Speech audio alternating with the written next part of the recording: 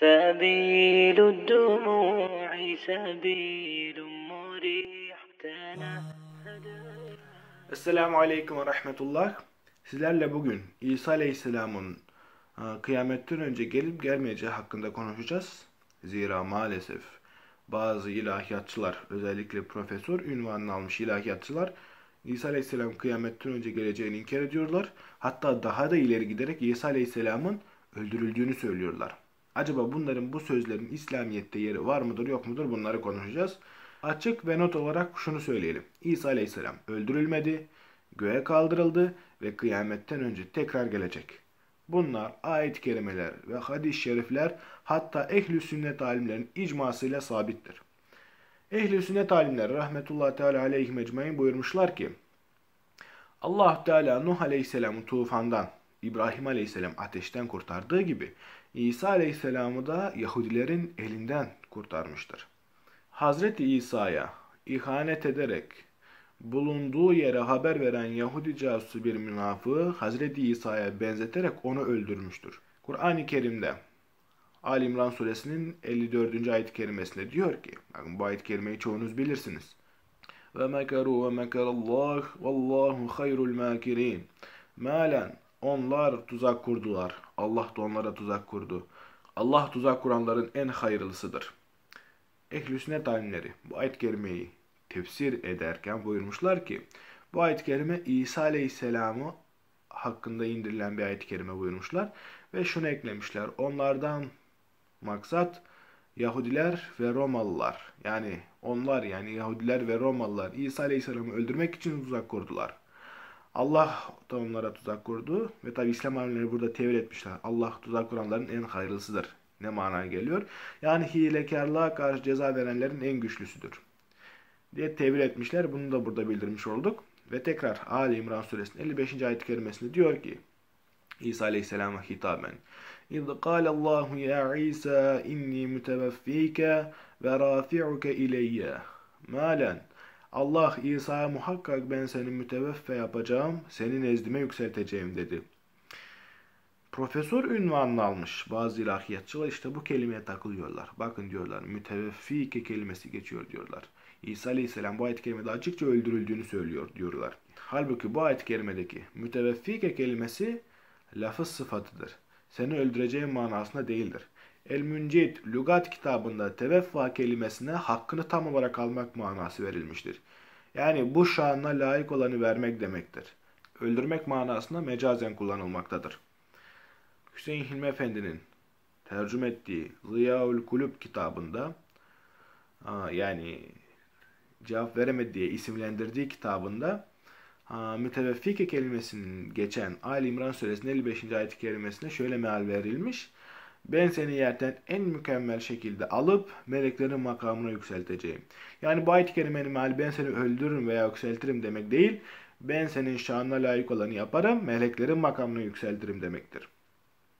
Allah Teala dilerse yükseltir. Allah Teala İsa Aleyhisselam'ı yükseltmeye dilemiş ve yükseltmiştir.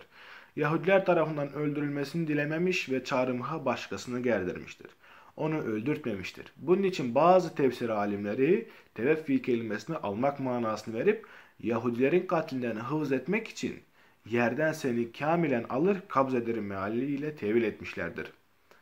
Ve Nisa suresinin 157. ve 158. ayet kelimelerinde diyor ki وَقَوْلِهِمْ اِنَّا قَتَلْنَا الْمَسِيحَ عِيسَ ابْنِ مَرْيَمَ رَسُولَ اللّٰهِ وَمَا قَتَلُوهُ وَمَا صَلَبُوهُ Velakin şubbihe lehum ve innellezine ihtelefu fihi lefi şekkin minh ma lehum bihi min ilmin illettiba'a zan ve ma kateluhu yakina bel rafa'ahullahu ileyh ve kânallahu azizen hakîmâ. Mealen Allah'ın Resulü Meryem oğlu İsa'yı öldürdük dedikleri için Yahudileri lanetledik. Oysa onlar, bakın ayet-i kerime açık açık diyor. Ve ma kateluhu onu ne öldürdüler ve ma salebuhu ne de astılar. Fakat kendilerine bir benzetme yaptırıldı. Yani orada öldürülen Yahuda işgalliyor o münafık kendilerine İsa gibi gösterildi. Onda anlaşmasızlığa düşenler bundan dolayı şüphe içindedirler. O hususta tahmin peşinde gitmekten başka hiçbir bilgileri yoktur. Kesin olarak onu öldürmediler. Bak ayet-i kerime ne diyor? Ve ma kateluhu yakine. Kesin olarak onu öldürmediler. Doğrusu Allah onu kendi nezdine kaldırmıştır. Allah aziz ve hakimdir. Gördüğünüz gibi ayet-i kerime açıkça İsa Aleyhisselam'ın öldürülmediğini gösteriyor. Yani ilahiyatçıların, sadece Kur'ancıların dayanacağı bir delil yok. Ayet-i kerime açık açık bildirmiş. Ehl-i sünnet alimleri de bu ayet-i kerimenin zaten açık açık bildirdiğini buyurmuşlar. Şimdi bazılarının inkar ettiği diğer husus da İsa Aleyhisselam kıyametten önce gelip gelmemesi. Şöyle bir şey rivayet edilmiş. Bütün peygamberler bizim peygamberimizin Muhammed Mustafa sallallahu aleyhi ve sellem Efendimizin ümmetinden olmaları için dua etmişlerdir. Allah Teala da sadece İsa Aleyhisselam'ın duasını kabul etmiştir bu hususta. Ve o yüzden İsa Aleyhisselam kıyamete yakın peygamberlik vazifesiyle değil bu ümmetin bir ferdi olarak gelecek. Şimdi diyeceksiniz tamam İsa Aleyhisselam geldiği zaman ikinci bir peygamber gelmiş olmuyor. Muhammed Aleyhisselam son peygamber değil miydi? Evet Muhammed Aleyhisselam son peygamber. Ondan sonra da bir peygamber gelmeyecek. Fakat gelecek olan İsa Aleyhisselam peygamberlik vazifesiyle gelmeyecek. Peygamber olmasına rağmen zira bir peygamberden peygamberlik makamı alınamaz. Peygamber olmasına rağmen peygamberlik vazifesiyle gelmeyecek. Yani ona bildirilen şeriatı, İseviliği açıklamayacak. Aksine Kur'an-ı Kerim'in emirlerini, hadis-i şerifleri, bu dinin emirlerini açıklayacak. Ve İslamiyet'in yayılması için çalışacak aynı zamanda. Hristiyanlık dahil diğer bütün batıl dinler onun zamanda kaldırılacak. Hatta İsa Aleyhisselam'ın kıyametten önce gelmesi Zuhruf suresinin 61. ayet kerimesinde açıkça müjdelenmekte. Zuhruf suresinin 61. ayet kerimesinde diyor ki وَاِنَّهُ لَعِلْمٌ لِسَاعَةِ فَلَا تَمْتَرُنَّ بِهَا وَاتَّبِعُونَ هَذَا صِرَاطٌ مُسْتَقِيمٌ Mealen elbette o kıyametin yaklaştığını gösteren bilgidir. Sakın bunda şüphe etmeyin. Bana tabi olun. Tek doğru yol budur. Ehl-i sünnet alimleri burada ve innehu kelimesinden maksat İsa Aleyhisselam'dır buyurmuşlar. Yani ayet-i kerime İsa Aleyhisselam kıyamet saatinin, kıyametin habercisi, kıyamet alamet olduğunu bildiriyor. E şimdi diyeceksiniz, tamam burada açık açık ismi zikredilmemiş, demek inkar edebilirim. Yok bu hususta inkar edilemez. Zira önceki ayet kelimelere bakılırsa İsa Aleyhisselam zaten anlatılıyor. Ve o İsa Aleyhisselam anlatan ayet kelimeleri bittikten sonra bu ayet kelime geliyor. Elbette o kıyametin bilgisidir diyor. Hatta Peygamber Efendimiz sallallahu aleyhi ve sellem bu ayet kelimeyi açıklayarak buyuruyor ki Bakın şimdi okuyacağım hadis-i şerifleri zannımızca hiçbir Müslüman inkar edemez. Zira kaynaklar çok. Değil öyle bir iki kaynakta zikredilsin. Desinler ha bu zayıf bu şey filan.